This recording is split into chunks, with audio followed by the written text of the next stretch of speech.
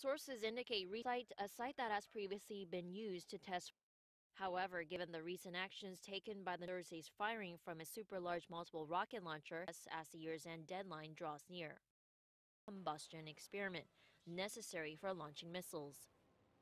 According to launches, North Korea on Saturday, at Japanese Prime Minister Shinzo Abe, who earlier projectiles calling them ballistic missiles, adding they're not only for Japan but also the international community.